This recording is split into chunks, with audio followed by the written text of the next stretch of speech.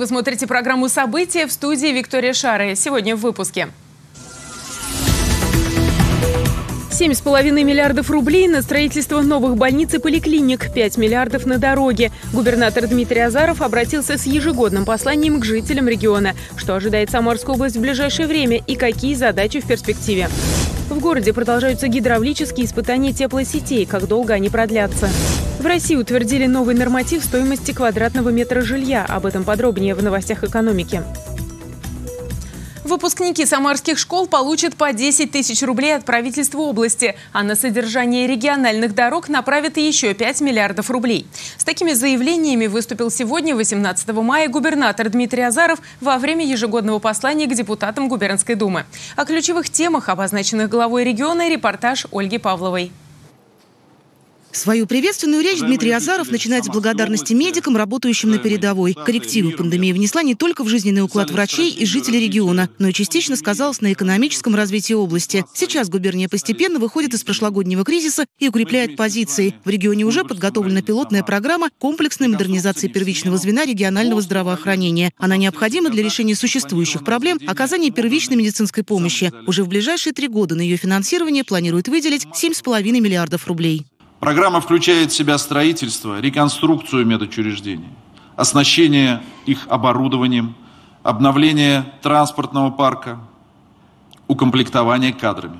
В ближайшие два года запланировано строительство поликлиники на 700 посещений в смену в Куйбышевском районе Самары и реконструкция поликлиники Нефтегорской ЦРБ. Приблизительно по такой же схеме планируют работать лечебные учреждения в Волжском районе и Кинеле. Их строительство начнется уже в этом году. И, безусловно, приятным долгожданным бонусом стала особенная, важная и своевременная мера поддержки для медиков и работников образования – компенсация расходов по процентной ставке ипотечного кредитования. Для многих семей непреодолимым препятствием является необходимость внесения первоначального ежегодного взноса в размере 10% от суммы кредита.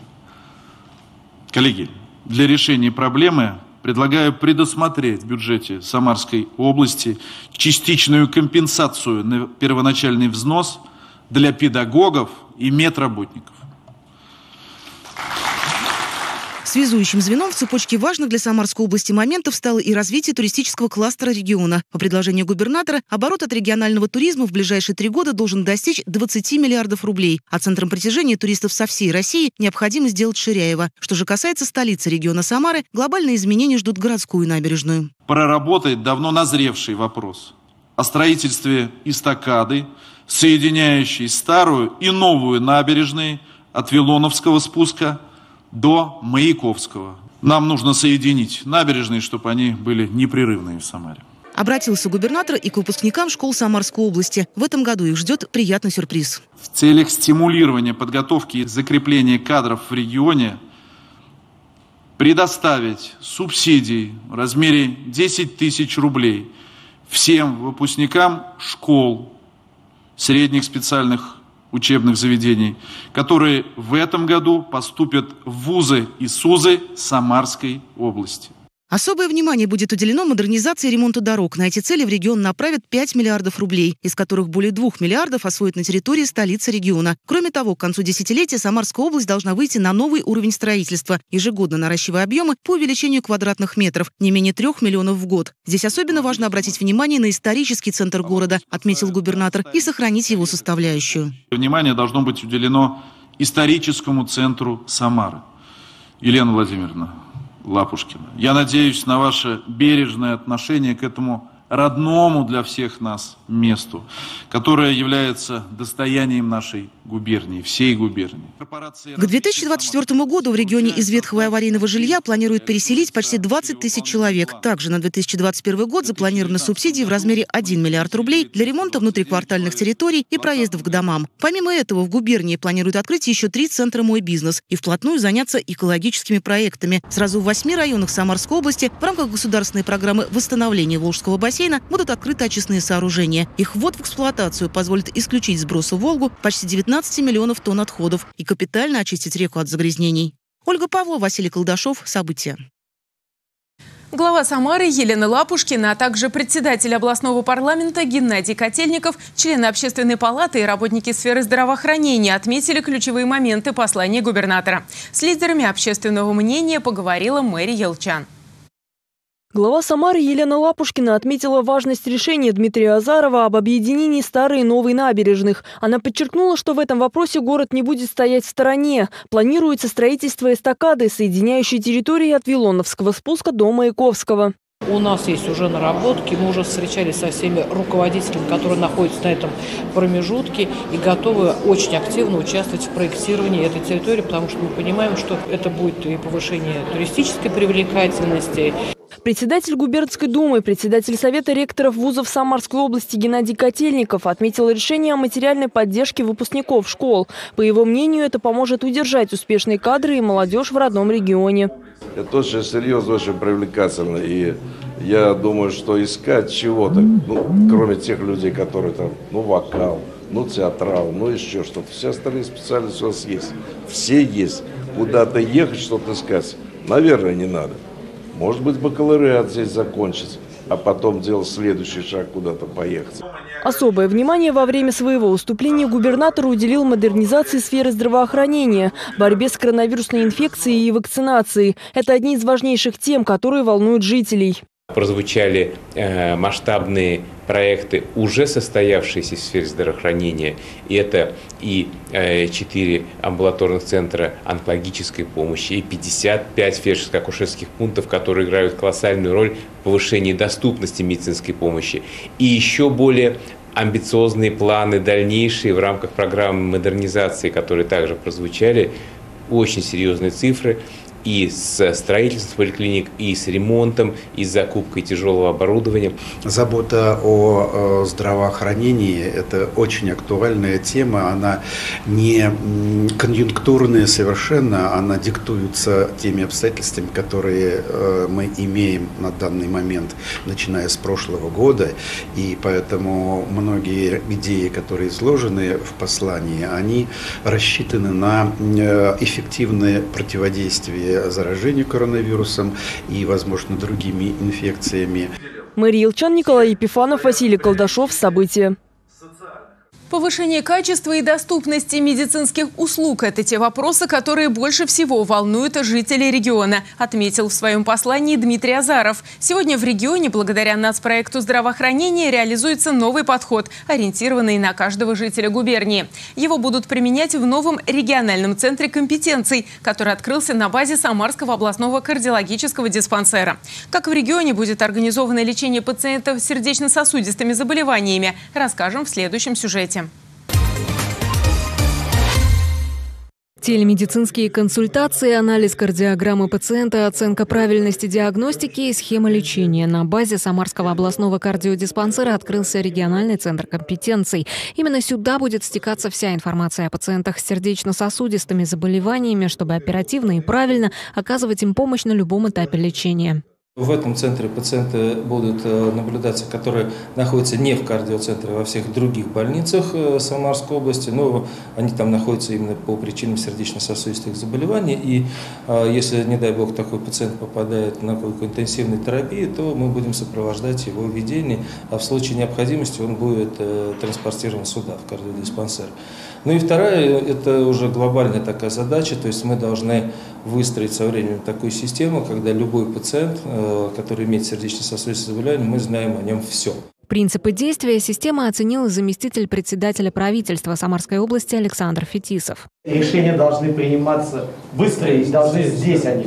Здесь центр принятия решений, в том числе вот мы, и об этом Армазак с самого начала как раз и да, сказал. В единой медицинской системе будут аккумулироваться все сведения о пациенте-сердечнике вне зависимости от того, обратился ли он в поликлинику или был госпитализирован в больницу через скорую помощь. Участковые врачи по месту жительства будут получать информацию, когда человек выпишется, чтобы провести его осмотр и выдать льготные лекарства. Это новый подход пациентоориентированное здравоохранение, а также контроль качества медицинской помощи.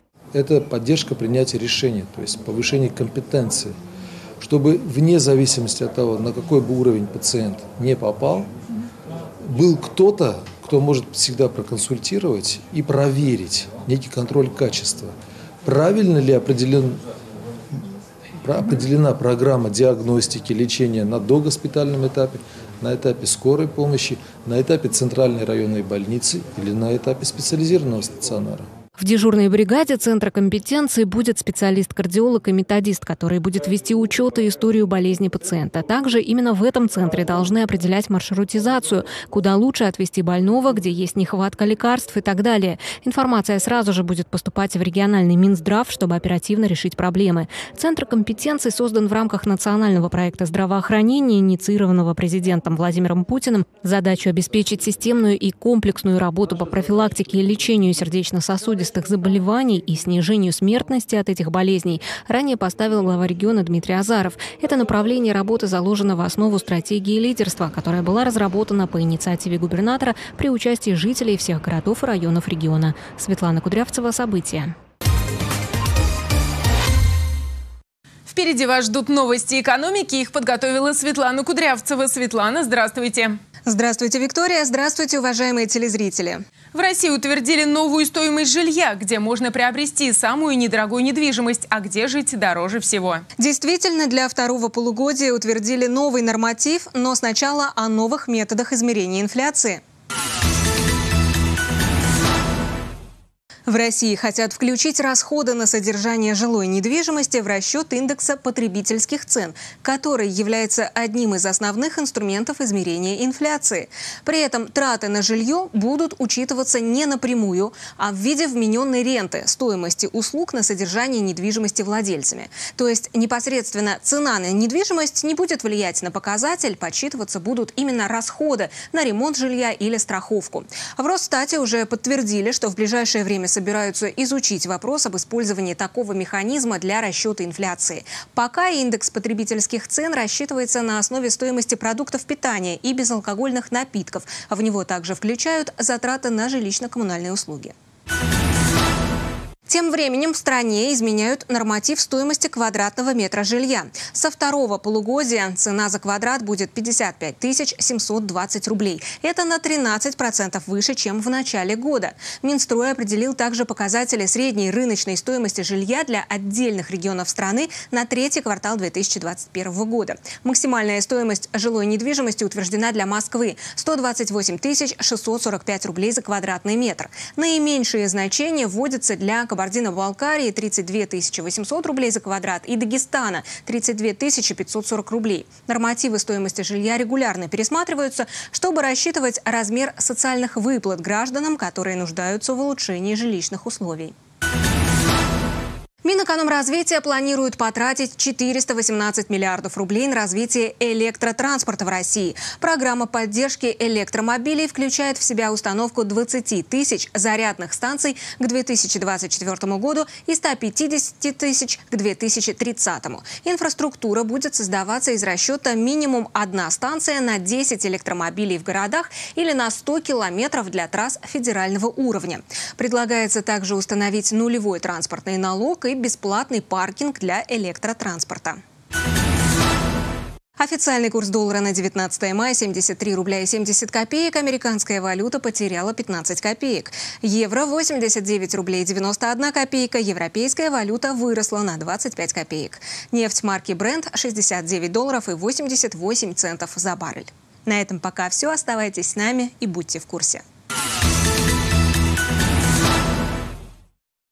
За сутки в Самарской области зарегистрировали 113 случаев заражения коронавирусной инфекцией. Общее число заболевших ковидом в регионе 63 526 человек. Такие данные опубликовали на сайте stopcoronavirus.rf. За сутки выздоровели 105 человек. Всего с начала пандемии из больниц выписались 60 642 пациента.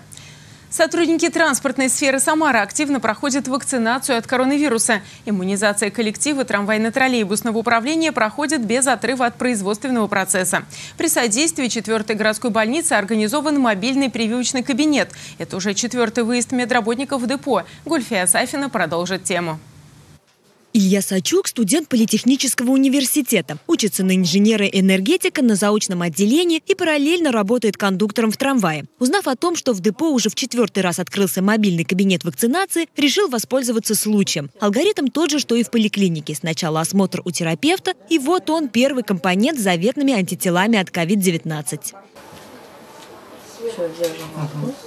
Ну, конечно, по сути, выбор каждого, но Как бы здравый смысл подсказывает, что прививку сделать никому не помешает, особенно учитывая специфику нашей работы и большое количество людей, с которыми мы общаемся. Вакцинацию проходят не только работники подвижных составов, но и те, кто трудится в административном блоке. В их числе начальник маршрутов Елена Немцева. Признается, это очень удобно. Оторвалась от дел буквально на несколько минут и снова в строю. Удобно, хорошо. На обеде я пришла. Сказали, не есть жареного, ничего острого. Первые три дня. И вот эта выездная вакцинация у нас уже четвертая по счету. Планируют еще в концу недели, в пятницу должна быть тоже еще одна очередная вакцинация. Но это удобно для наших э, работников тем, что не нужно отходить от производства далеко. Уже поработал, вышел, сделал вакцинацию, все. Привито уже более 400 человек. Я сделал, например, сам вакцинацию, у меня не было никаких симптомов, я абсолютно спокойно перенес вакцинацию, оба компонента. Сотрудникам необходимо изъявить намерение привиться заранее, и, исходя из списка желающих, больница рассчитывает количество вакцин, которые им необходимо привезти. Прививка добровольная. Далее бригада медработников направляется в депо. В этот вторник получили иммунитет от коронавируса 42 работника предприятия «Трамвайно-троллейбусное управление». Гульфия Сафина, Константин Головин. События. Новый прививочный пункт открылся в одном из торговых центров Тольятти. Получить первый или второй компонент вакцины просто. При себе нужно иметь только паспорт и страховой полис. Подробнее о процедуре расскажет Михаил Ермоленко.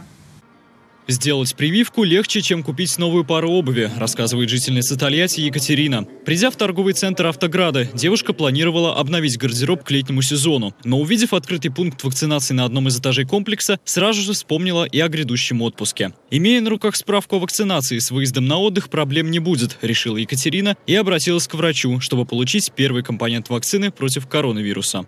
Увидела стенд, что здесь проходит вакцинация, давно хотела и решила зайти, посмотреть, что как здесь происходит, все обстоит. Так как очереди не было, решила сразу же сделать. А я планирую ехать в отпуск, и чтобы все-таки чувствовать себя в безопасности, решила сделать прививку. Пункт вакцинации в одном из торговых центров Тольятти работает уже несколько дней. И за это время желающих получить прививку от коронавируса все больше. Энтузиазм у посетителей торгового комплекса возник из-за простоты получения лекарства. Паспорт и СНИЛС – все, что нужно, чтобы пройти вакцинацию. Так, смотрите, сейчас я уколю вас внутримышечно. Открывайте мне ручку. Мышцу вдохновения находится инъекция. Вместо инъекции может немного поболеть, не пугайтесь, мазать ничем не нужно, никаких компрессов. Все пройдет. Перед процедурой желающий заполняет согласие и анкету о своем состоянии, после чего врач-терапевт измерит температуру, сатурацию, давление, проведет осмотр и при отсутствии противопоказаний даст допуск на постановку вакцины. После прививки пациенту обязательно выдадут справку с датой вакцинации, а также с наименованием серии и номером вакцины. Данные пункты открываются для большей доступности населения. Люди не всегда хотят обращаться в поликлинику, а, возможно, из-за боязни где-то, может быть, заразиться или из-за количества обращающихся туда людей, стоять в очереди. Здесь как бы свободно, вы можете в любой момент зайти, получить э, свою вакцину и идти дальше по своим делам. Привиться от коронавируса в одном из тольяттинских торговых центров все желающие старше 18 лет могут ежедневно с 11 часов утра до 8 вечера. Как отмечают врачи, получить можно не только первый компонент вакцины, но и второй. Правда, перед этим стоит убедиться, прошло ли необходимое количество времени с момента первого укола. Также медики напоминают, что соблюдать социальную дистанцию и масочный режим нужно даже привившимся людям. Это тоже меры профилактики, которые помогут уберечься от инфекции. Михаил Ермоленко, События. В Самаре продолжаются гидравлические испытания теплосетей в рамках подготовки к будущему отопительному сезону. Они будут идти до августа. Об этом на еженедельном совещании в Департаменте городского хозяйства рассказал первый вице-мэр Владимир Василенко. В этом году запланирована перекладка теплотрасс на 52 объектах. Заменит рекордное количество труб – свыше 65 километров. Возможность привлечь дополнительные средства появилась в связи с переходом в прошлом году в единую ценовую зону теплоснабжения. И Самара стала первым городом-миллионником, в котором внедряется современная модель, так называемая альткотельная. На сегодняшний день 7 участков теплотрасс уже в работе. Пяти, которые были взяты в перекладку в первоочередном порядке, добавились объекты по улице Мяги и в районе улиц Печорской Авроры. 20 мая пройдет выездной штаб. На месте будет дана компетентная оценка относительно темпов и качества работ там, где они уже ведутся. Усложняют работу несанкционированные постройки на теплотрассах. Такая ситуация сложилась в районе рынка на пересечении Ташкентской и Старозагора. Владимир Василенко поручил навести там порядок по Безымянской БТЦ и часть Самарской, поэтому в данной ситуации у нас есть сегодня одно повреждение, которое находится на улице Ташкентской, это Старозагор. Мною поставлена задача, чтобы убрать все несанкционированную торговлю, чтобы устранить повреждения. Тогда у нас здесь полностью, в полном объеме, 15 микрорайон, будет с горячей водой. И у нас есть отключение, которое по центру, это касается улица Красноармейская. Здесь тоже большое отключение практически. У нас вот здесь пойдет э, по линии, где Алексея Толстого, э, Максима Горького, э, и начиная от Куйбышева сюда вниз, от Красноармейской, и доходим туда, до Венцика. Здесь оно само по себе сложное, работы будут проводиться до 24 мая. Кроме того, на совещании профильным предприятиям и управляющим организациям поручено активизировать покос сорной и аллергенной травы. Помимо этого, на всех видовых маршрутах сухие деревья должны быть убраны до 30 мая. Среди значимых для осетинского народа дат есть особый праздник – День осетинского языка. Он приурочен к выходу книги Касты Хитогорова «Осетинская лира». Поэтический сборник вышел в свет в мае 1899 года во Владикавказе. Это стало великим событием в истории культуры. Как потомки чтят память великого осетинского поэта, увидела Елена Чернявская. Национально-культурный центр «Алания» пригласил всех, кому интересна и дорога осетинская культура, на ежегодный праздник в честь Дня осетинского языка и литературы. Он отмечается в Самаре уже около 20 лет. Для нас, э, проживающие, в осетин, проживающие в городе Самара и в области, огромнейшая ответственность, чтобы наше поколение, наши дети, внуки, правнуки, дети все – не забывали, откуда они, свои корни, язык, культуру, обычаи. Сохранение национального богатства, передача опыта народных традиций, включая языковые, подрастающему поколению – является приоритетными задачами праздника Дня осетинского языка и литературы. И, конечно, ни один осетинский праздник не обходится без национальных танцев. Ребенок восхищен. На самом деле, каждый раз мы едем, у него улыбка на лице. Мама, когда же осетинские танцы? Когда же лезгинка? И вот, э, в общем, с удовольствием ребенок на самом деле ходит. И очень надеюсь, что все будет продолжаться и выйдем на большую сцену. Ежегодно этот день объединяет осетин разных поколений и старейшин, и совсем юных, только осваивающих азы родного языка. Для них этот праздник еще один повод насладиться звучанием и произношением родной речи, продемонстрировать детям и взрослым красоту, богатство и уникальность родного языка. Именно в это время формируется гармония между людьми всех социальных групп, профессий, возрастов, национальностей. Дети и подростки впитывают национальную культуру, ее красоту. Взрослые люди вспоминают свое детство и юность родителей, стариков, их песни, традиции, обычаи, дух нации, язык. Этот день для нас очень важный, потому что когда язык исчезнет, исчезает народ. И мы никогда этого не допустим, э, и всегда будем проводить эти праздники и учиться родному языку, где бы мы ни проживали, потому что знать свой родной язык – это на первом месте должно быть. Знать много языков – это очень хорошо, но в первую очередь нужно знать свой родной язык. Году праздник приурочен и еще к одной знаменательной дате – 170-летию Самарской губернии. История нашей области богата яркими событиями и выдающимися достижениями, в том числе главные ценности Волжского края – традиции единения разных народов, веками живущих на этой земле в мире и дружбе. Елена Чернявская, Василий Колдашов. События. На этом наш выпуск завершен. Все наши новости читайте на нашем официальном сайте «Самара ГИС», в нашем телеграм-канале и на страницах в социальных сетях. Всего вам доброго и до встречи!